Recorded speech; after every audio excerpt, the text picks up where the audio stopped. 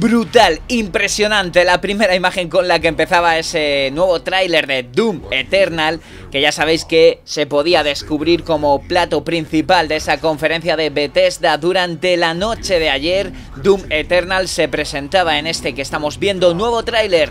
El juego va a llegar el próximo 22 de noviembre, es la fecha que se maneja. Bethesda mostraba durante su conferencia previa al E3 2019 este nuevo vídeo dedicado a Doom Eternal nos permitían de este modo echarle un ojo a esta prometedora secuela y además se confirmaba que el juego será lanzado finalmente, bueno, en un principio, el próximo 22 de noviembre.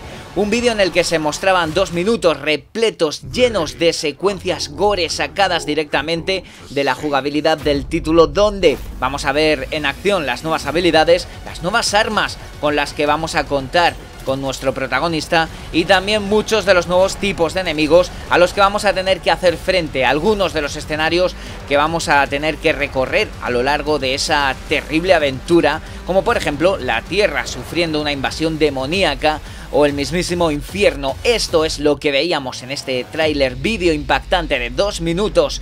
La acción del nuevo Doom, al igual que su anterior juego, va a tener eh, bueno, vamos a volver a encontrarnos eh, con un juego en esta ocasión de acción en primera persona que regresa a las raíces del género para ofrecernos un título totalmente frenético y visceral, como dicen algunos. Eh, lo prioritario aquí, bueno, pues ya sabéis, machacar demonios mientras, bueno, pues plataformeamos y avanzamos por los diferentes eh, niveles repletos de algún que otro secreto. Entre las novedades que vamos a encontrar en este nuevo Doom Eternal, bueno pues un curioso modo multijugador asimétrico que se llama Battle Mod. Eh, con el que vamos a poder encarnar a los enemigos para enfrentarnos a otro jugador que controle al Doom Slayer.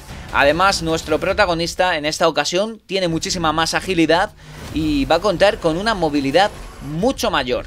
Eh, su desarrollo vuelve a estar en manos de ID Software y el juego, repito, se estrena el próximo 22 de noviembre. Llegará a Xbox One, a PlayStation 4, a PC y también a Nintendo Switch. Estaremos pendientes de más información y más imágenes potentes de este Doom Eternal.